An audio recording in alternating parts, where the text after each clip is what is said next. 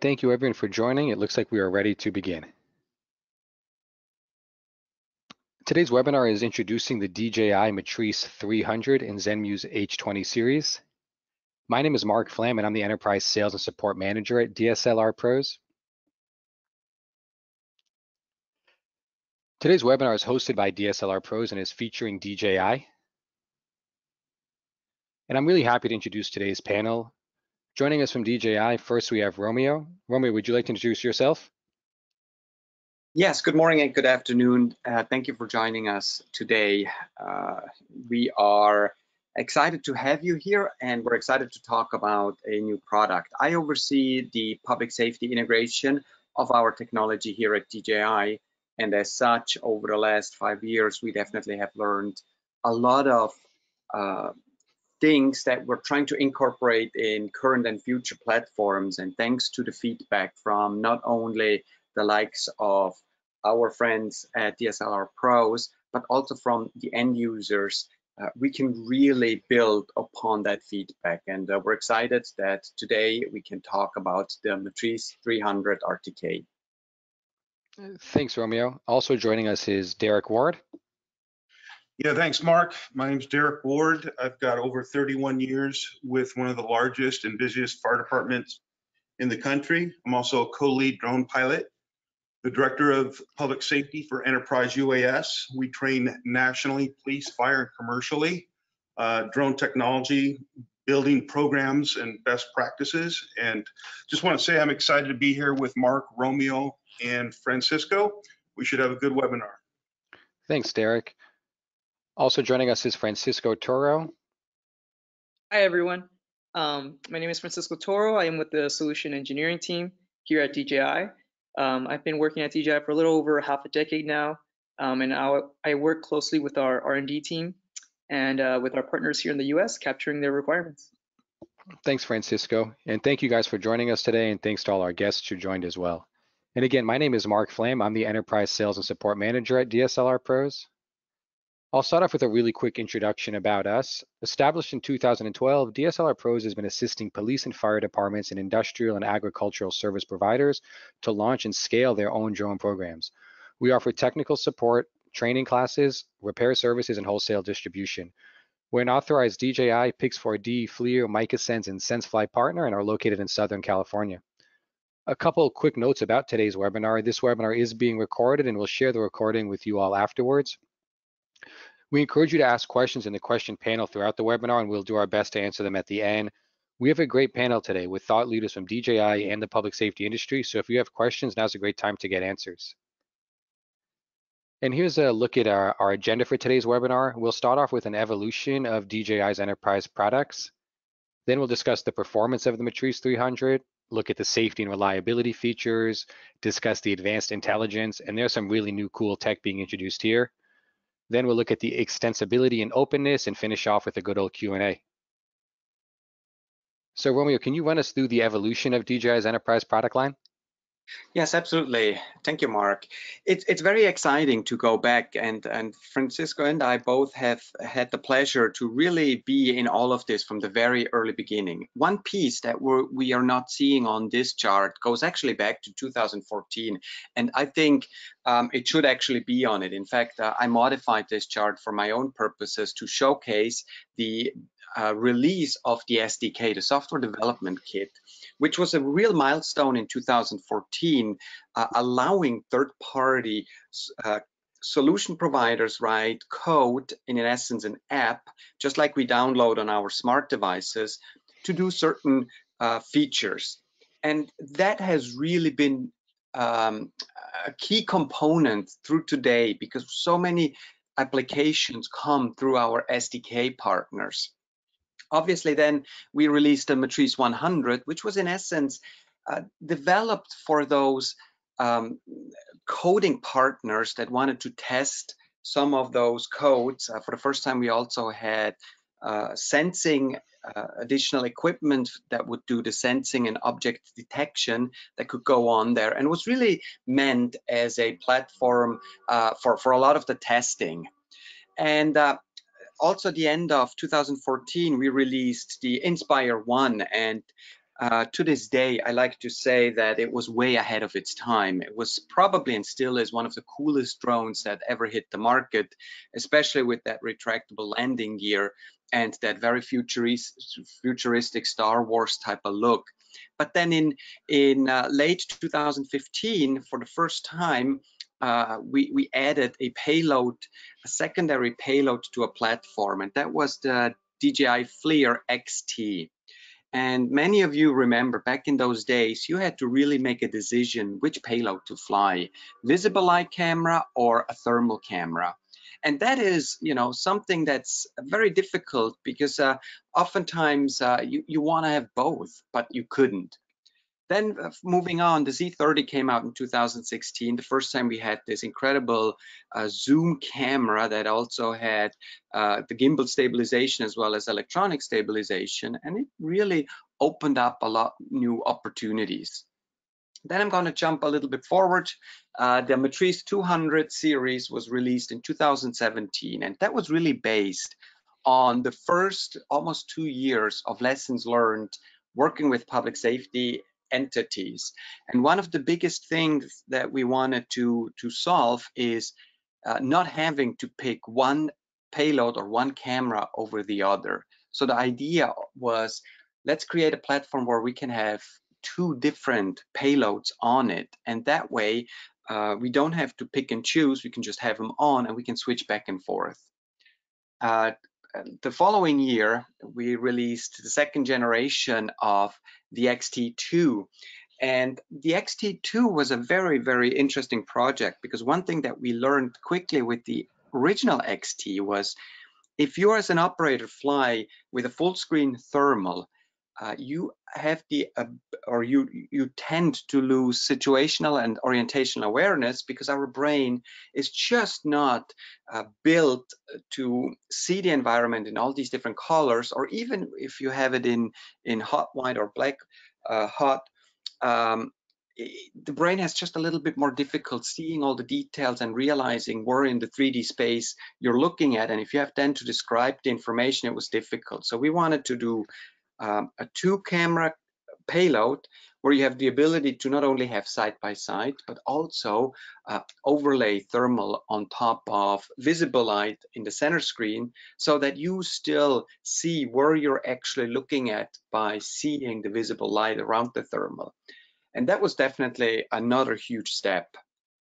Uh, moving forward, uh, also that year, the Phantom 4 RTK came out, and then in 2019, um, a the Mavic 2 Enterprise, and we wanted to do a smaller, quick deploy platform that has accessories that can be utilized depending on a certain uh, mission profile and need, as well as the ability to have a low res thermal and visible light camera.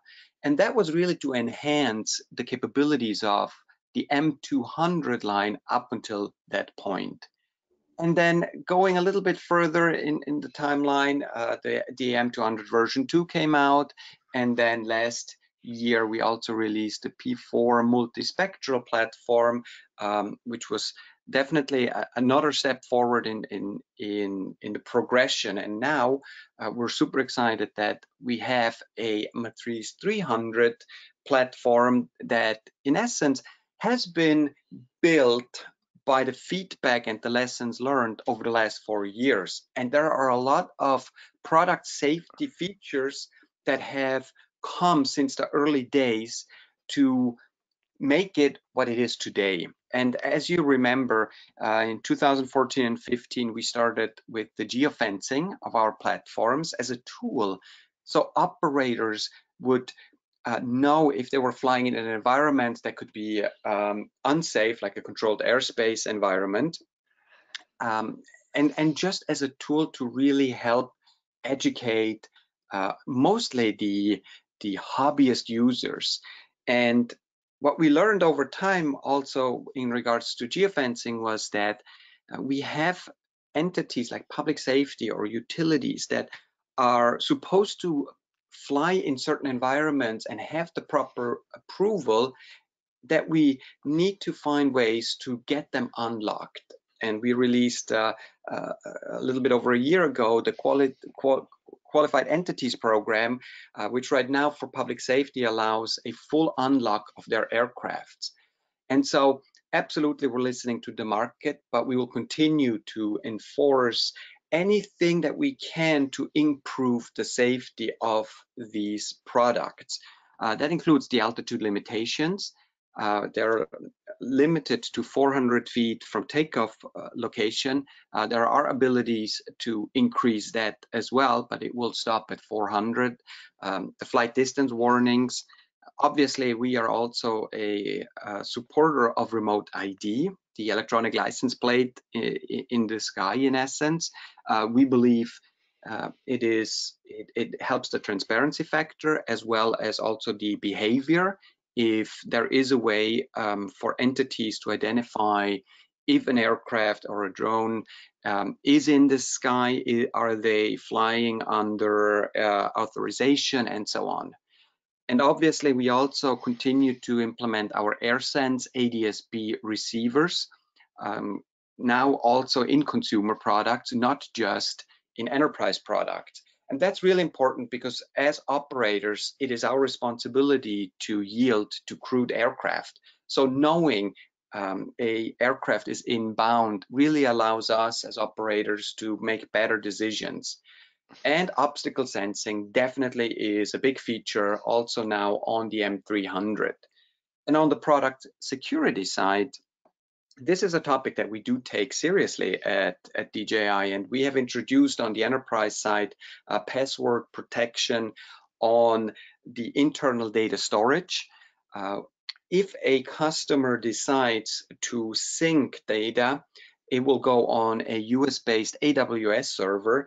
And I want to really point out that there is no data going outside of that. And you as the operator uh, have the full control over what is being shared. And I'll give you a good example. If you have, let's say, three drones, and you would like to combine the three flight logs of those drones into one, there's a feature where you can sync that to this US-based AWS server from all three drones, and it creates, in essence, an, a list of all the flights that have been done. And that only goes to that US-based AWS server. It doesn't go abroad, despite um, a lot of the rumors that are out there. We have local data mode. If you are operating in a more sensitive environment, you have the ability to engage local data mode that really cuts off all the transmission from your smart device uh, to the net. The drone itself does not have transmission capabilities. There are no LTE, 4G, 5G uh, chips in the drone. The communication piece happens through either the smart device or a crystal sky that can be uh, attached to or connected to a Wi-Fi or a 4G LTE network. Our Flight Hub software uh, operates on the Azure and our uh, communication link between the operator and the drone is AES 556 encryption-based uh, transmission. We will continue to improve and enhance our security because we understand that um, there are different security aspects and demands. Uh, the, the demands are very different for a local uh, fire department than a potential federal agency. So we do have to provide uh, various levels of security protocols, but also as an industry, uh, proper data security standards need to be developed so all manufacturers can properly uh, comply with those standards. Got it. Thanks, Romeo. And you hit on something really important, which is the, well, you hit on a lot of really important things, including the Qualified Entities Program, which was recently released by DJI. If there's anybody in the audience that feels that their agency would qualify for that and would benefit from that, I strongly encourage you to reach out to either support at DSLR Pros, Marc at DSLR Pros, leave us a chat. Uh, we can help connect you with the right people at DJI can, who, who can unlock your aircraft for your region. And we've helped a lot of customers through this process and it's made them uh, able to deploy in a lot more different situations. So if you think you would benefit from QEP, send me an email and I'll help you get started. So next up, we're going to take a look at the uh, flight performance of the Matrice 300. So the Matrice 300 has a 55 minute flight time. With the H20T, which is the new thermal and zoom camera installed, the effective flight time is 36 minutes. And for comparison, the Matrice 200 with a similar zoom and thermal setup had a 15 minute flight time. So that's a 21 minute increase from its predecessor. Okay, now we're taking a look at the new and much needed charging station. So this charges eight batteries at a time and takes 60 minutes to charge up a set. So with the new batteries and charging case, DJI, DJI has now enabled nonstop continuous flight. So what that means is by the time your last battery is drained, your first battery has recharged, allowing you to fly continuously. So how awesome is this ability for continuous flight, guys? How do you foresee public safety agencies or other companies being able to benefit from this feature? You know, Marc, uh, if I can just kick in here, it, it's extremely important, especially when we need to have real-time data on an ongoing basis. We're, we're up at a, a, brush fire and we're looking over a specific canyon or something to that effect, and we are transmitting information to the IC and other places. To be able to stay in the air without having to be interrupted is of huge value. And I'd also like to say uh, about the encrypting of the, the uh, 300 that public safety already have policies and pr procedures in place for data retention. In addition to strict compliance and existing laws, to have this type of technology that's encrypting this information and make it even safer is totally beneficial to public safety. Got it. Thanks, Derrick. And one other thing to note is this will also charge up to four of the WB37 batteries. Those are the Crystal Sky batteries or the Ascendance batteries, which are also compatible with the new Enterprise Smart RC. So this case will charge those up as well. So it's a nice charging solution and something that we definitely need. Okay, now we're discussing the M300 transmission range.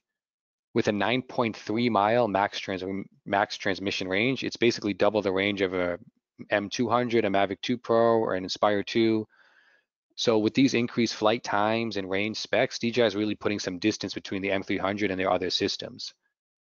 So on the industrial side, with the increased flight time and increased range, you can inspect more assets per day, which means more, more increased efficiency for your crews. And on the public safety side, the extra flight time and range could be the difference between success and failure. So we're seeing some really big improvements in terms of flight time and range, almost doubling what the M200 was offering. And uh, did you guys have anything to add there on the flight range or time?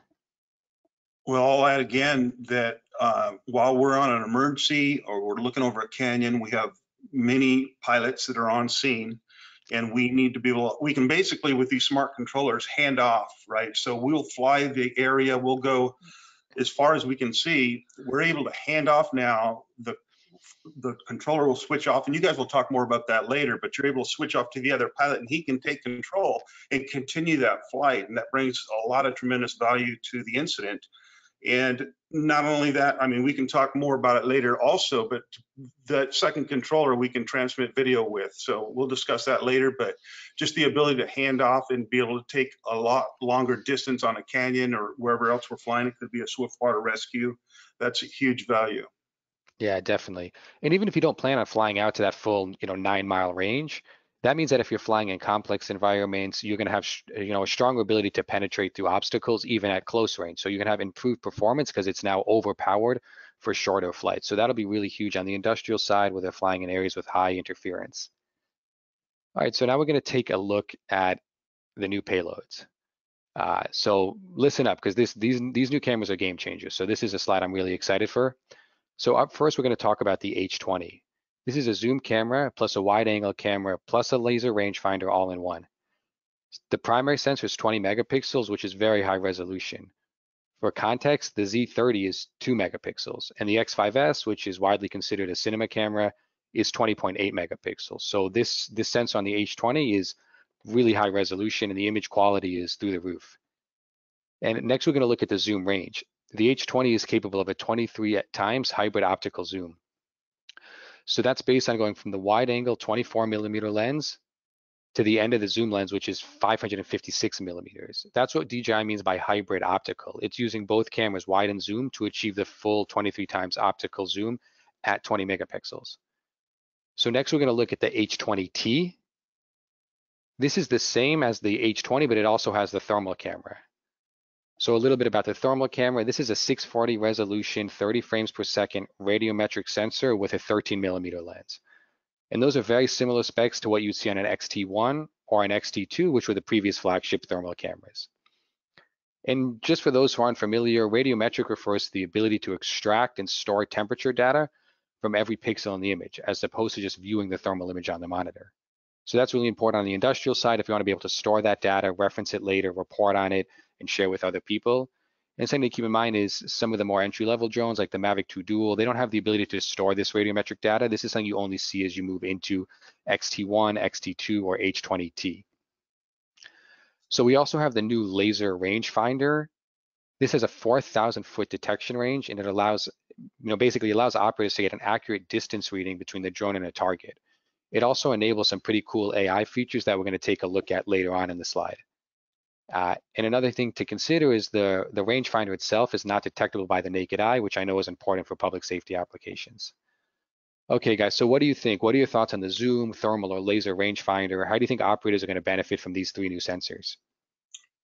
Well, I know Romeo can elaborate on this quite a bit also, but I can see this technology is a game changer in lots of ways.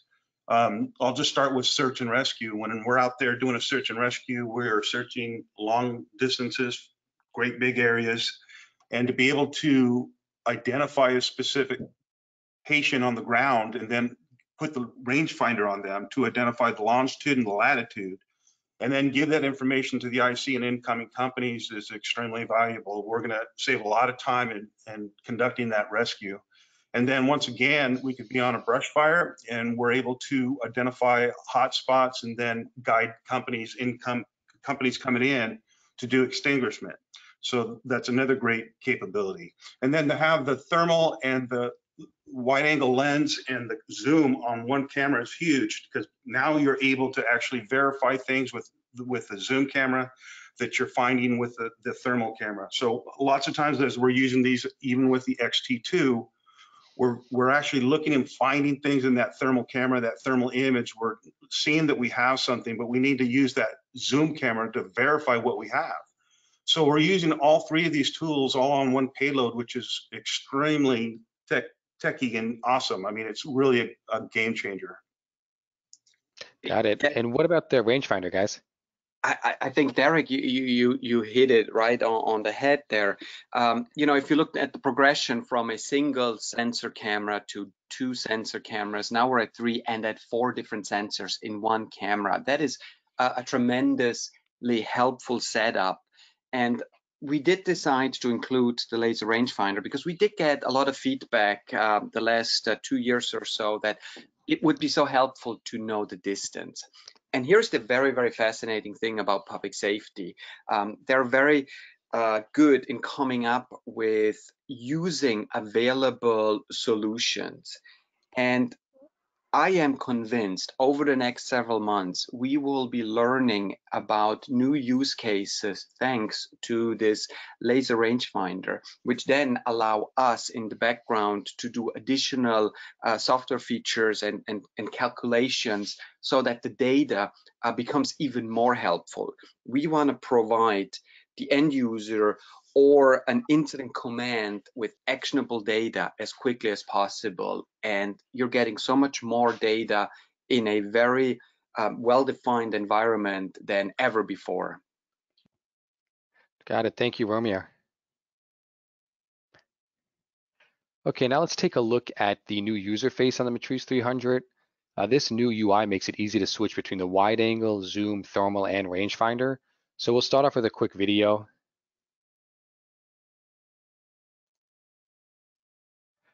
So now we can see we're on the zoom lens, switching to the wide angle. Now on the thermal.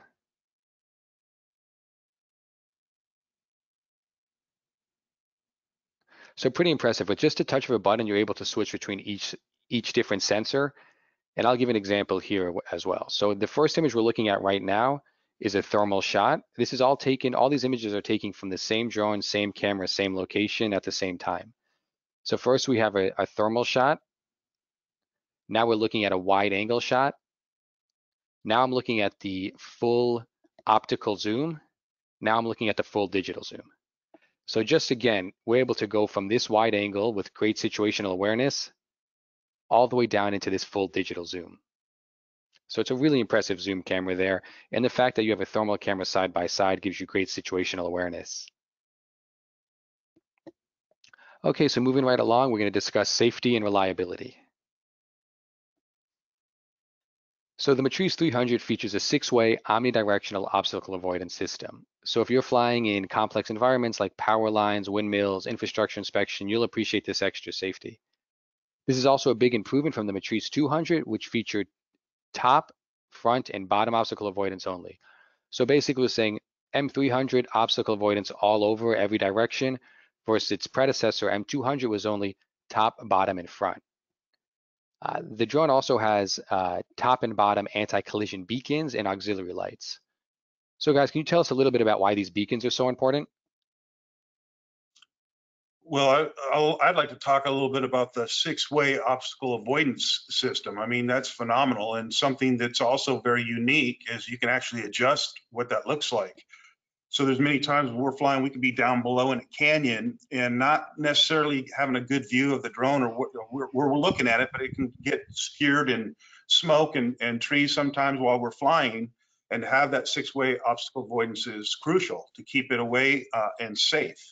The other thing, and that also releases that liability of having an issue. But the other thing is, is if you actually have to get into a tight situation with some of the other systems that we've been flying, you either have to turn it on or back off again in order to do that. So you're getting into a tight area, you got to turn your obstacle avoidance off in order to do it. With this, you can actually change how many feet you need to go into a specific area, which is giving you more capability, keeping your flight a lot safer and mitigating a, a lot of liability. So I, I really see a lot of value in that. Got it. Thanks. Absolutely, Derrick. Uh, and and you know the top and bottom lights. Uh, obviously, with now night waivers in place, we want to create a solution that out of the box has the safety features that are needed, so you can perform according to your uh, nighttime waivers. So having not only the the bottom and the top uh, anti-collision beacons available at night, um, but also you can utilize them during daytime to enhance your own visibility. Uh, even when you fly down in that canyon, now you see the top beacon, uh, you know, flashing once every while, and that helps. And if you're flying a, a, a the drone above your head, then you have the, the bottom auxiliary lights that can also help you with, with the orientation of the aircraft. So uh, really out of the box safety features that benefit any type of operation. Gotcha.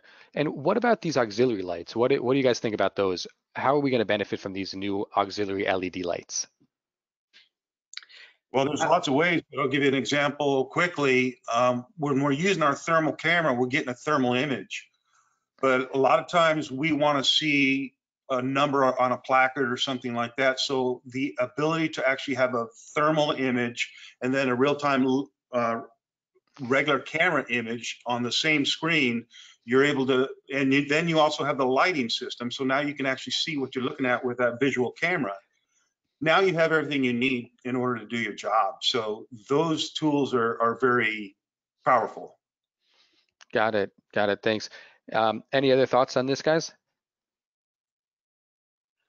One thing I could see for the auxiliary LED lights is uh, also just helping the obstacle avoidance systems work better in shadowy areas or low light areas uh, you know, those obstacle avoidance need some ambient light to work. So the auxiliary LED lights will definitely help with that. Like if you're coming in for a landing and it's dark or it's shadowy, it'll it'll illuminate the ground, and then the sensors can work better to help uh, to help aid with the landing. All right, so now we're going to take a look at the M300's ingress protection rating. And I get really deep into the IP ratings in our M200 versus M300 uh, comparison video, which is on YouTube. So I encourage you guys all after this is done, go check out that video if you really want to to get into that. Uh, just on a high level, the the Matrice 300 is an IP45 IP rating.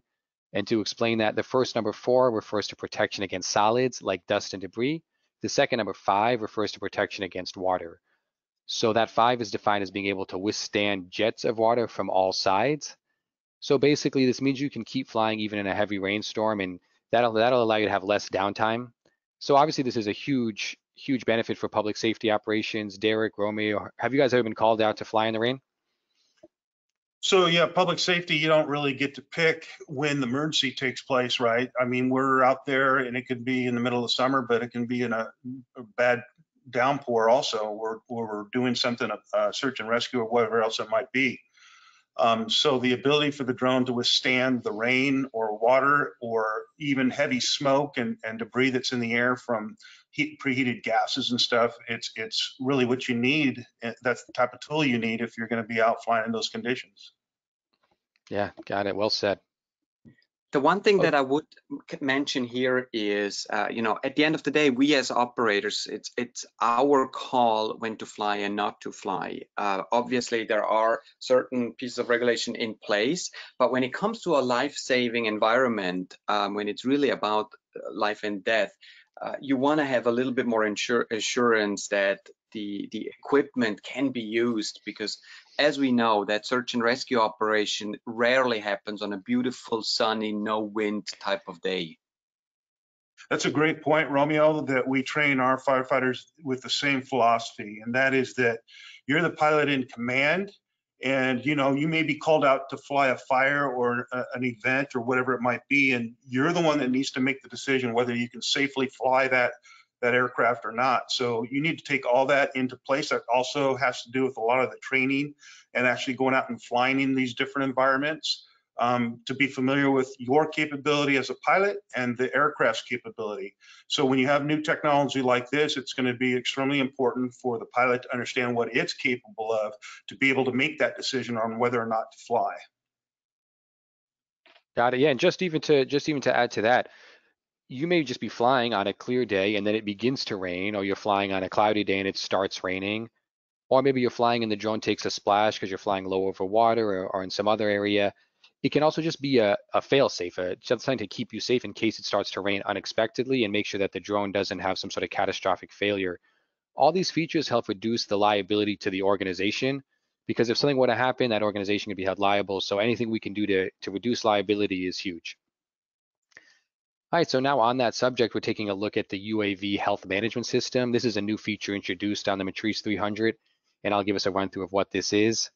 Uh, so first off, uh, we'll have an ability to see the health status monitoring, and this is going to provide an overview of the status of all the major components. Then we have flight data management. This records the flight data and provides maintenance suggestions accordingly. So that's huge for maintaining your aircraft. Now we have an automated way to help notify us when maintenance is needed.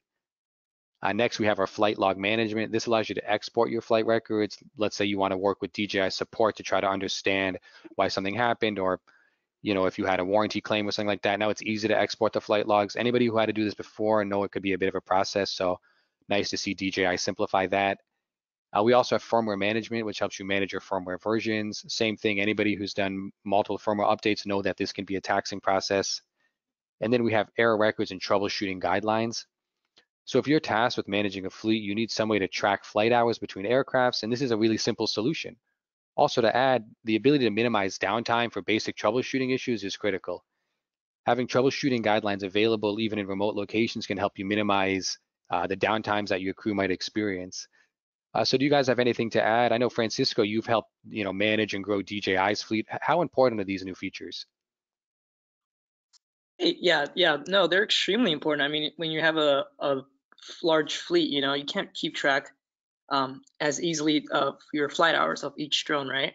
So having this, um, a very user-friendly interface to to see like your total flight hours of the drone is extremely helpful.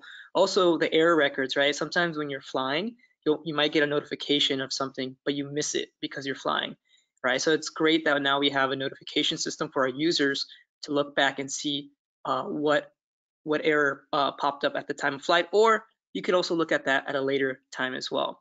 So this is, this is very very helpful. Uh, the troubleshooting guidelines is also helpful for uh, for minor issues. Like let's say you have a visual um, visual error for the obstacle avoidance. In the past, you might have to look this up uh, on our website or somewhere else to kind of figure out what to do. So with this, you can minimize downtime, just like you said, um, by looking at the troubleshooting guidelines. We'll provide some steps for you to try first um, before you have to uh, take it into DJI support. So yeah, I think it's uh, it's it's really really valuable for our users. Yeah, thanks. Well said. I mean, look, the last thing you want to do is send a crew out to some remote location and then have them be out there and lose a day because of some, you know, basic troubleshooting issue. And, you know, these are things that can unfortunately happen. So this is a really nice feature there. And Marc, All right. that's a, the COA requirement actually for public safety also to have aircraft management, pilot management, and have a system that's actually recording that information. So in order to get your COA approved, your certificate of authorization approved, you need to show that you are doing these things. And for the aircraft to have that ability to keep track is, is vital. Yeah, yeah, good, good point there. Um, that's a great point. So next we're going to look at some more safety and redundancy features. So the M300 has dual IMU, barometer, compass, RTK, and batteries. This provides redundant components for improved reliability. This is important and is a key dif- differential between consumer and industrial grade drones because the redundancies can reduce the liability of your organization by providing increased reliability and increased fail safes. We also have the all new advanced dual control, which we're going to get into later on in the presentation, but this allows you to change pilots mid-flight. Uh, and that opens up a whole lot of new applications as well. And we're going to get into that later on. Some other redundancy features include the new three propeller emergency landing, which is a fail safe in case one motor or propeller fails. So if you're out there flying, let's say like an Inspire 2 and a prop fails, I mean, it would be catastrophic. Whereas the M300 can recover, then slowly reduce altitude for a semi-controlled landing. We also have the ADS-B receiver, which allows pilots to see other manned aircrafts in their area. Uh, and keep in mind that the drone pilot will see the manned aircraft, but manned aircrafts will not be able to see your drone. So it's, it's a receiver only. Lastly, the M300 has a new wide angle FPV camera, which is a, a great way for pilots to quickly, you know, have a forward facing camera. The FPV camera is a much wider, wider field of view and much higher resolution than the FPV camera on the Matrice 200. Uh, and anybody who's had a chance to fly with it has really had like really positive feedback. It's a really nice uh, high resolution FPV camera. One thing to consider is that you, uh, unlike the FPV camera on the Matrice 200, you can't tilt this FPV camera down but the increased field of view more than makes up for this. So uh, guys, what do you think? Why is that FPV camera so important? How are operators using the FPV? So it's it's extremely important for situational awareness and have the ability to switch it on to see the direction of the aircraft and what's around it is important. I'd like to say that each one of these different features are common in reducing liability for the aircraft and for the operator. And with public safety, that's a major concern. As you know, uh, if something goes wrong while we're out doing a mission or flying an aircraft and we lose control of that aircraft or it goes into a, a car or a freeway, it's going to make national news and, and it's going to discourage the uh, acceleration of programs nationwide. And I think most all public safety, both fire and police, are very, very aware of that.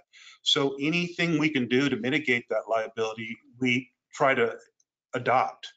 So to have all these different features in place is is something that not only can we put that in our COAs, but we can document this information and, and also to reduce that liability for the agency or department. Yeah, thank you, Derrick. Uh, Romeo Francisco, anything to add before I move on? Just one thing I want to add in regards to the FPV camera. I, have gotten some uh, comments about the the inability now to to look down with the FPV camera, and those are valid points. However, there are other ways to get to gain that view. Uh, that used to be very co commonly um, implemented like when when you're coming back for landing and uh, you want to quickly look down and make sure that your landing area is is available and no obstacles are in between uh, now you can't do that with the fpv camera but you still have your payload cameras. So uh, you're not losing the ability uh, but it is a huge improvement as an fpv camera from previous models yeah, that, that's a great point. I mean, you definitely still have your primary cameras. And one thing that we were testing at the shop was just by flying back like 15, 20 feet, we were able to see kind of what was what was below us at that at that further point. It's such a wide angle that you can start to see uh, what's below you when you're like 20 feet back, if that makes sense. Uh, but I hope you guys all get a chance to fly with it. It's a really nice, slick FPV camera and definitely one of the nicest uh, forward-facing FPV cameras I've gotten to fly with. So next we're going to move on to advanced intelligent features. Before we do that, I have one quick correction regarding the battery case. I want to make sure that I stated this correctly. The battery station can hold up to eight TB60s and four WB37s at a time, but it charges two TB60s at a time, starting with the set with the highest charge. Once that set is automatically is charged, it automatically switch, switches to the next set. So it's charging sequentially. But the key takeaway with the battery station is that it will charge batteries quick enough so that way you can enable continuous flight like we discussed earlier. But I wanna make sure I stated that correctly. Okay, so moving on. Now we're gonna talk about some of the new advanced intelligence features. So Francisco, you wanna give us a run through on these new features? Sure thing, yeah. So the first thing we'll talk about is the smart pin and track. Um, so the main three functions we'll talk about is the pinpoint function, smart track, and location sharing. Great, so pinpoint. Um, this is a new feature that we've added to mark an object of interest. So there's two ways to do this. The first way is through the main camera view, like you see on the right, um, by simply selecting the, the pin option, which is next to the RNG symbol. Um, you can you can mark uh, an object in real time. So that's the first way. The second way to do this is to do it through, through the uh, map interface. Um, and once it's marked, it'll keep track of that object in real time. So no matter which direction you're flying, you can easily see where it is, and you'll also get the uh, direction in the navigation display below, which you should see. Um, it's next to the green, uh, I'm sorry, the red arrow. But yeah, so this is a, I feel you guys can elaborate more within public safety, but we feel that this would be a, a great add-on for, for your operations. There's many uses for public safety uh, on the fire department, you know, to keep track of a, a victim or, or, or somebody who's out in the field or whatever else. But I see a lot of use for law enforcement, and I'm sure Romeo can elaborate more on that. But just to be able to keep track a suspect, go ahead and uh, tell us what you know on that, Romeo.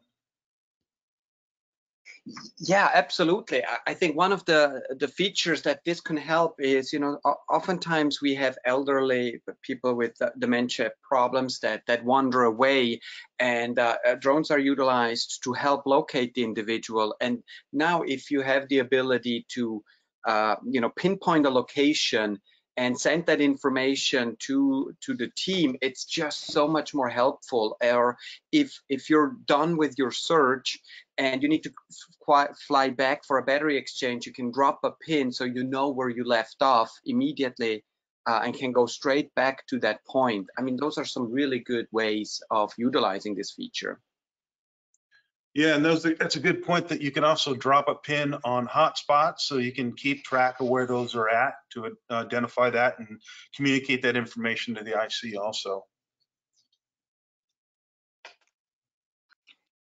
Great, next we have Smart Track. So uh, similar to some of our consumer models now, we can uh, track objects. So predefined objects such as uh, vehicles, people, and boats will automatically be detected. You will simply have to select the object that you want to detect, and the aircraft and gimbal will automatically track it. So as it's tracking it, it's keeping it uh, in frame, zooming in as necessary, and keeping it in focus. Um, and it'll actually displayed in the uh, map interface on the bottom. You can see a green crosshair, um, and that is the location of the object as it's moving and tracking it. So again, uh, we feel like this would be great for uh, public safety, and you know, if you guys do think so as well, please let us know. Yeah, I mean, this is going to be huge. Anybody who's tried to do this shot where you track a car and have it pass in front of the drone and now you have to do a 180 pan knows this is a really hard shot to pull off and you're likely to lose track of the car and now you have to try to find it again on the other side. Like right here, as the car switches past the drone, that's a hard shot to pull off. And if you lose track of the car, maybe you lost it for good. So this is a huge feature and I would say a necessary feature. Derrick, Romeo, what do you guys think? Oh, I agree. Like I said, this type of feature is is is extremely powerful. I just see law enforcement being able to use it quite a bit, obviously for many reasons. Yeah. Alrighty. Right, and finally we have location sharing abilities. So if you're using FlightHub, um, whether you're tracking something with the Smart Track or uh, you're utilizing the pinpoint function, you'll be able to share this uh, in real time with FlightHub. Got it. And for those not familiar, FlightHub is a uh, flight data management software that DJI offers. So this is something that you would use in conjunction with the M300 to get even more information down to the incident command. Uh, anything else you guys want to add there? Um, only that I, I don't, we're probably going to talk about this more, but we're also able to transmit a signal. If we put the second smart controller with the IC, that all this information that we're finding while we're tracking and everything else, we're able, he's able to actually pick up all the stuff that's happening on the screen. So as we're tracking, basically he's got all that same information, which is extremely valuable. Well said, Derrick. Thank you. Awesome. Next, we'll talk about the smart inspection. So smart inspection is composed of these three functions, waypoint 2.0, live mission recording, and AI spot check. So we can dive deeper into each one. So the first one is waypoint 2.0. So previously we had uh, supported only up to 99 waypoints, um, but with this new upgraded waypoint function, we can support up to 65,535 waypoints. Uh, we now also support banked turns and more dynamic flight routes. And this does support uh, POI as well, uh, supports multiple payload options, and offers multiple consecutive actions. And Waypoint 2.0 uh, will be supported uh, for third-party payloads, such as uh, uh, through the payload SDK. And this is, this is also supported by our mobile SDK and onboard SDK. Next, we have the live mission recording. So utilizing the live mission recording, you can create an automi automated flight route. So the first thing you'll have to do is uh, put the drone up in the air and the select areas that you would like. And when you record the waypoints, it'll record the drone's location and also the gimbal's orientation. So all you have to do is flight your mission one time. So in this example, we have, let's say Tower A. We'll flight that mission one time, save the mission, and now we can uh, automate this and have it repeatable uh, every single time. So you just select that mission tower A, you'll get the exact same uh, flights and the exact same data.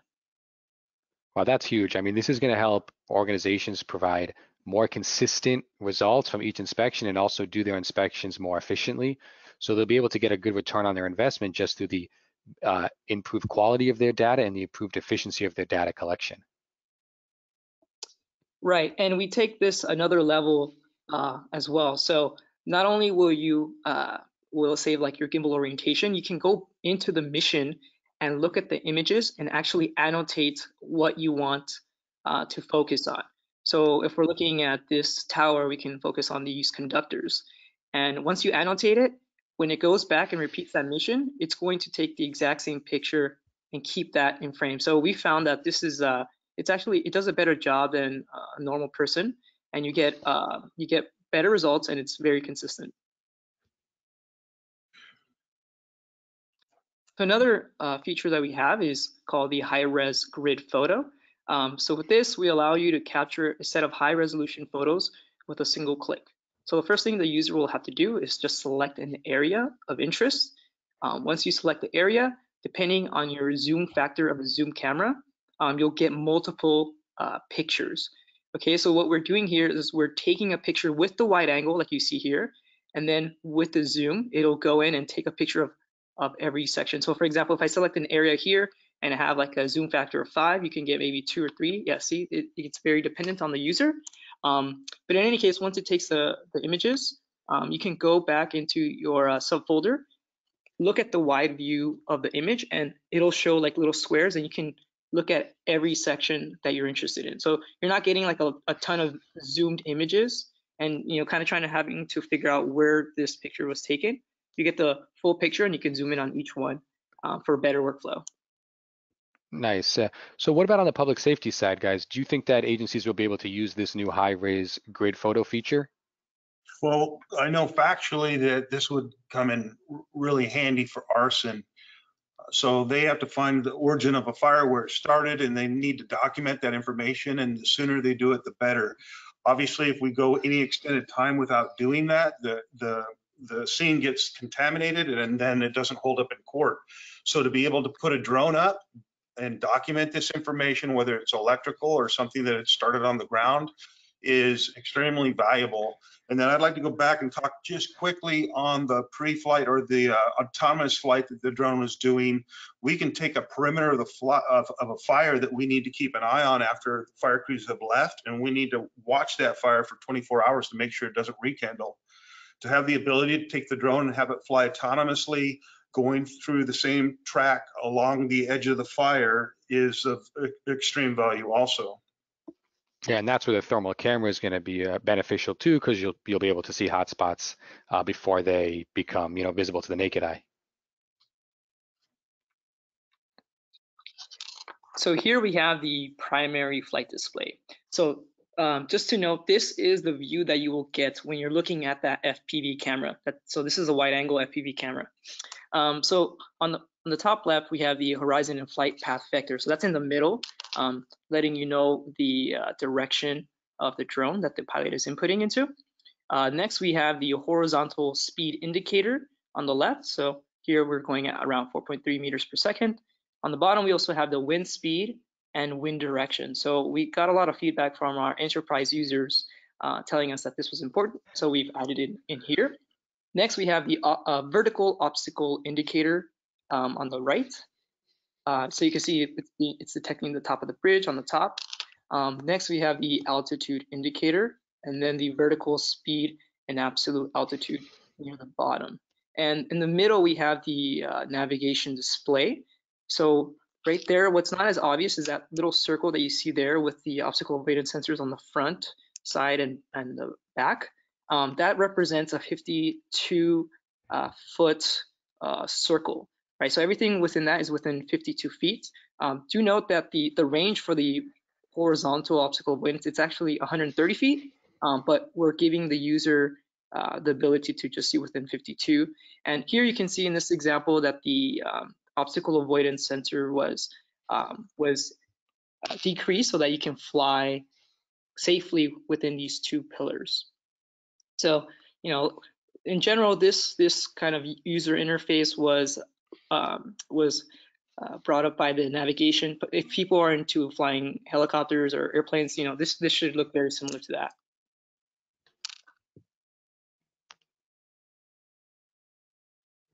Next, we have the advanced dual control. So as uh, Derrick has alluded, um, and Marc, you can now control the aircraft. Two people are, when they're flying, um, the second pilot can gain control of the aircraft in mid-flight.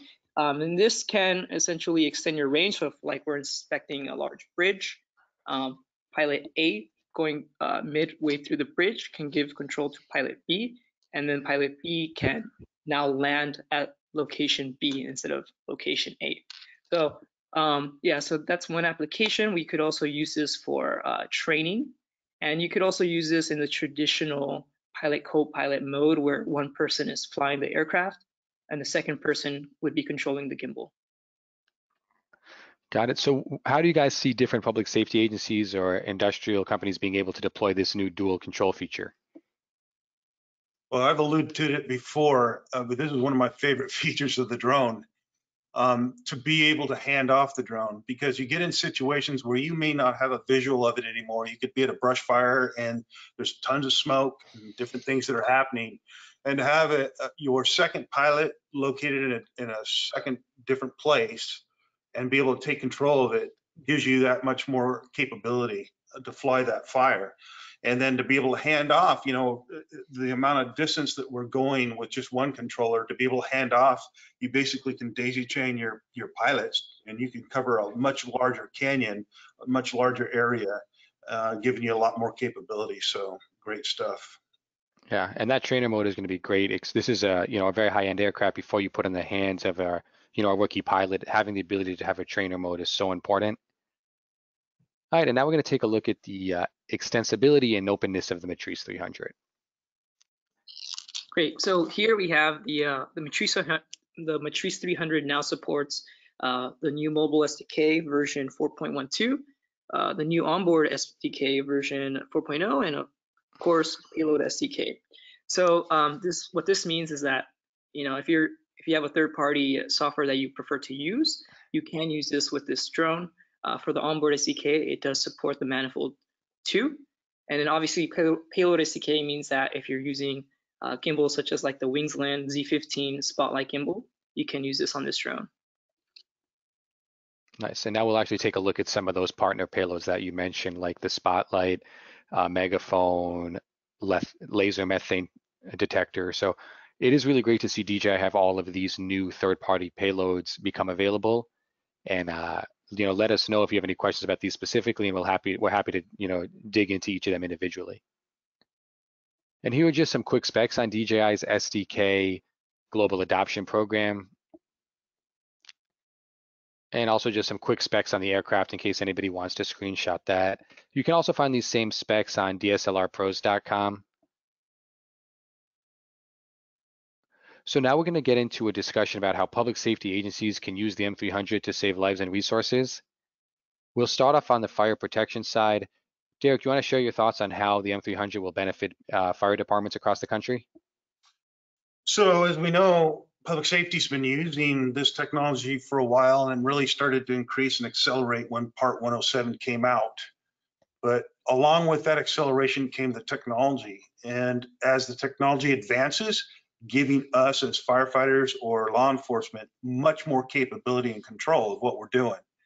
Also, we're finding we need to train our pilots to be more adept and understand all the different critical issues there is or they come against when flying these aircraft.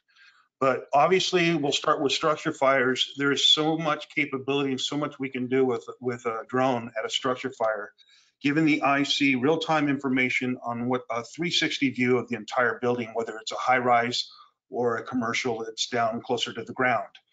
Uh, we're also able to identify hotspots on a roof, a panelized roof.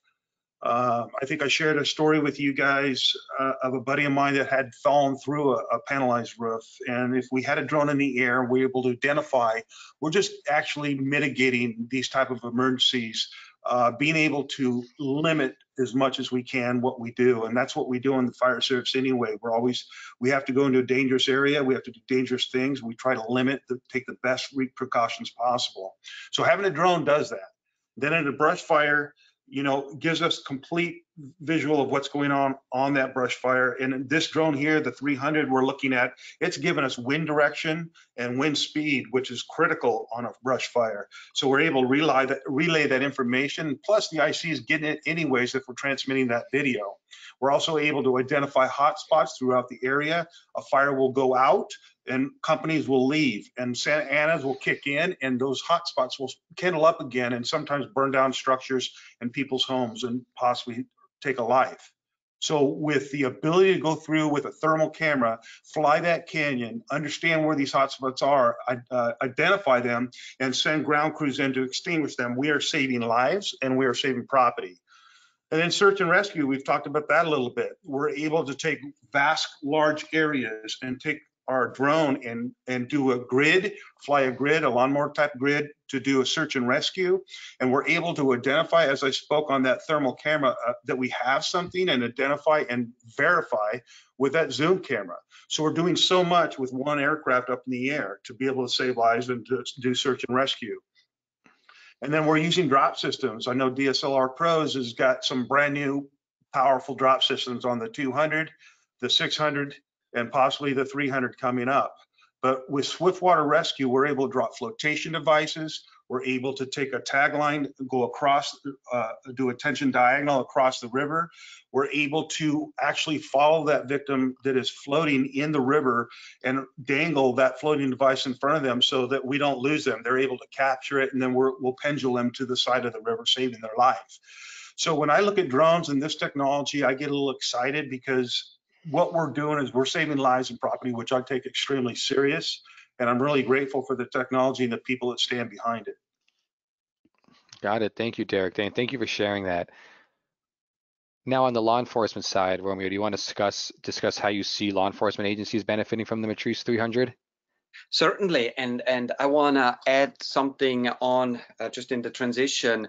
Um, Derrick is absolutely right, and I was thinking back in 2017 when uh, when we deployed to Santa Rosa for for the the big wildfire, the first big wildfire that we had up here, and the M200 series was fairly new with the XT2, and uh, if I had the capabilities of the M300 then, um, there was one incident that it would have made a huge difference. Um, there was a, a, home that, that burned down and uh, it was suspected that the resident, an elderly gentleman in a wheelchair, um, who was last seen on the front porch while everybody was evacuating, was uh, in the rubbles in essence.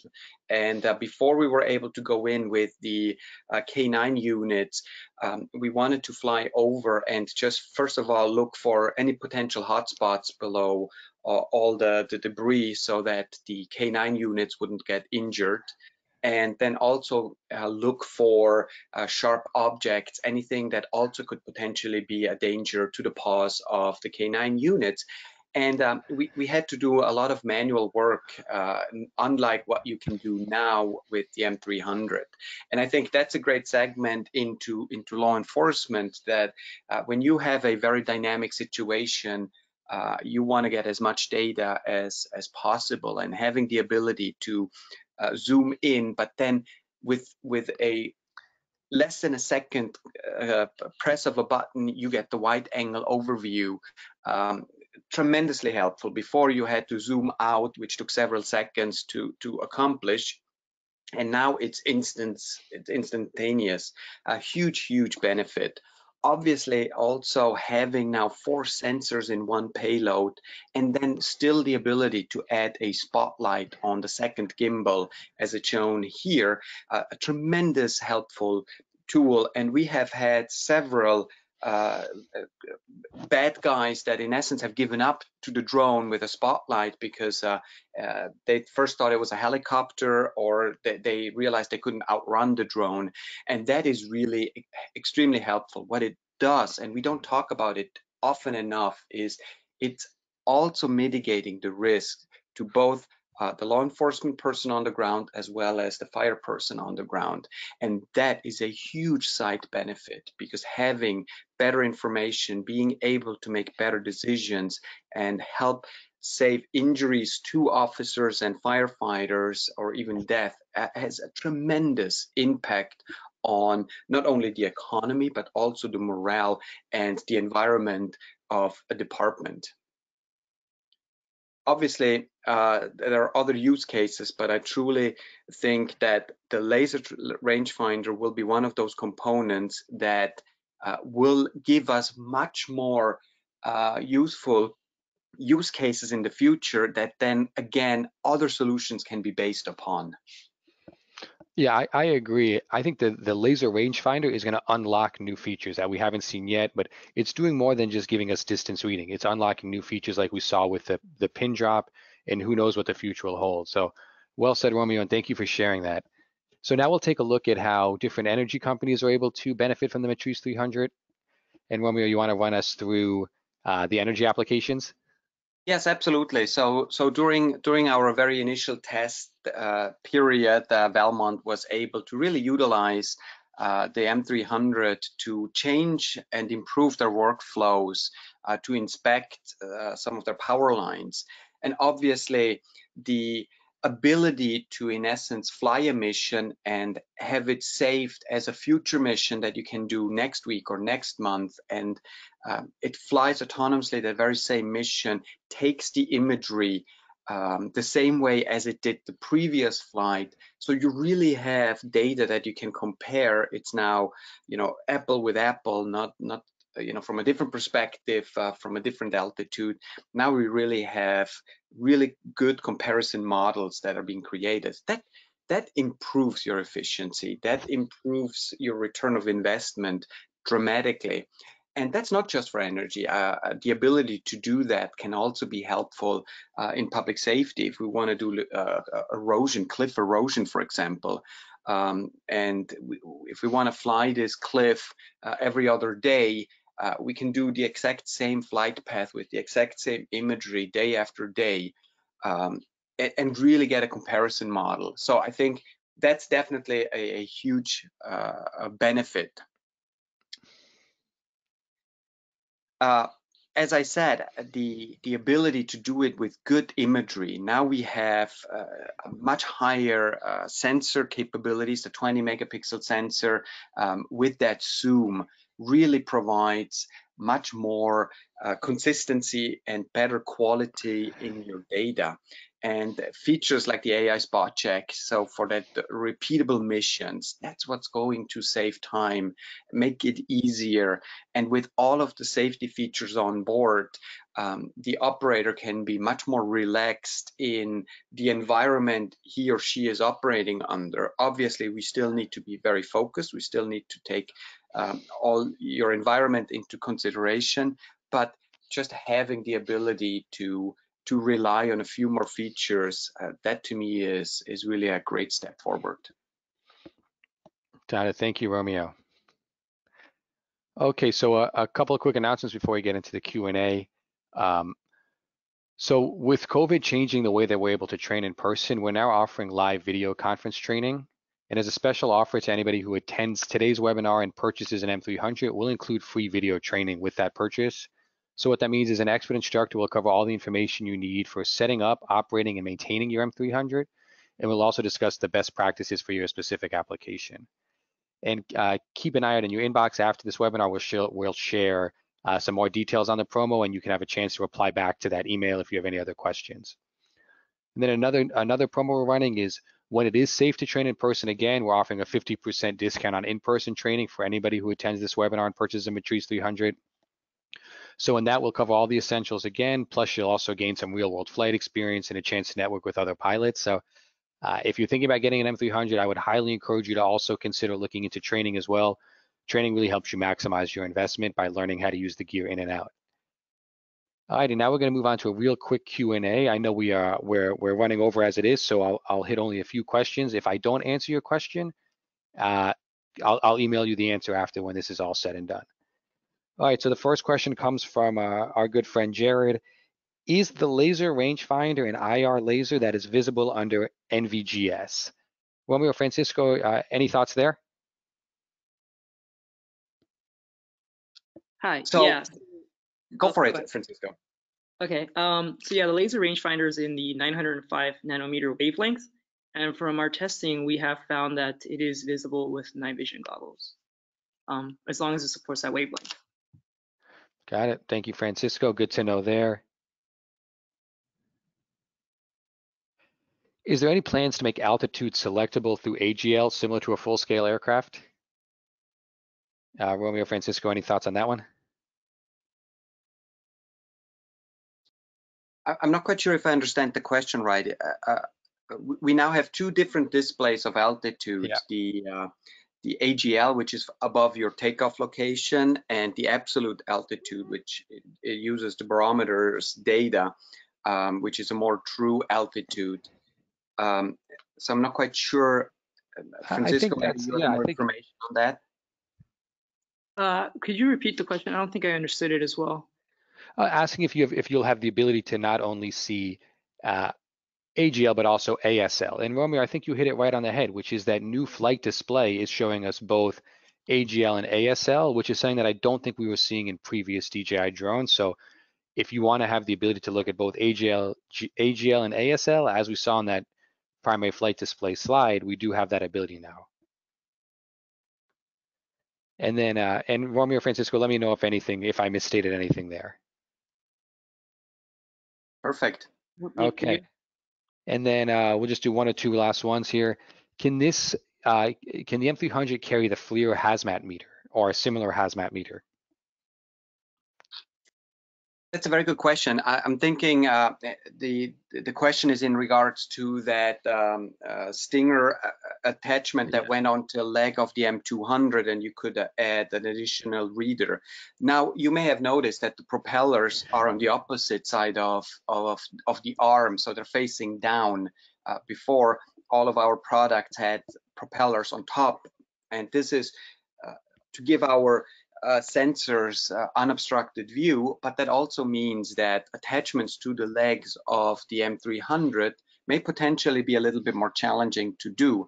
But here's what I know.